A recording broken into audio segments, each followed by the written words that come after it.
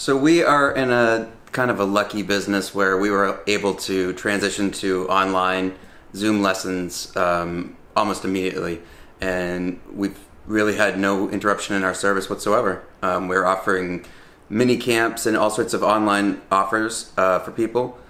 We're starting to just now uh, look into doing uh, in-person things, but the online has been great for us. It's definitely a little trickier with the younger age. Uh, the younger they are, the harder it is to keep them focused, specifically on a screen. Uh, it's caused us to, to learn to teach in a different way. Um, all of this is, is great for us to learn and to expand our knowledge. And, you know, I think we all have a little bit more resources now when we are approaching students of all ages. Now, the other teachers, are they working from their homes or do they come in here or what do they do? A little bit of a mix. Um, the studio is available to people if they want to come in. So, in general, there's always somebody here, you know, two or three times a week in case somebody wanted to stop by. But um, I think there's only two teachers that prefer to teach here drums, mostly that kind of thing. Uh, but most people are teaching from their houses. Mm-hmm.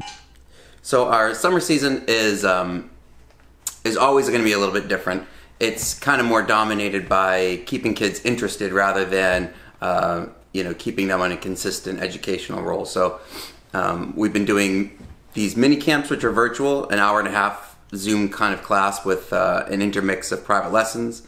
Um, we are offering in-person rock band camps where we're going to separate people using hula hoops and we're going to use outdoor spaces. Um, we're really doing a lot right now. Actually, I think probably more than we've ever done. Um, we're open minded and we're pretty much keeping uh, keeping our eyes open for whatever anybody wants to do. If it works for us and it makes sense, we we want to keep people playing music.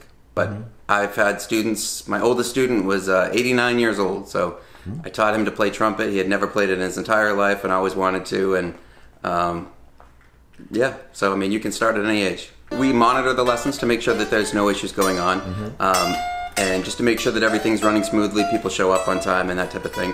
Uh, so I always have a few screens going in the background.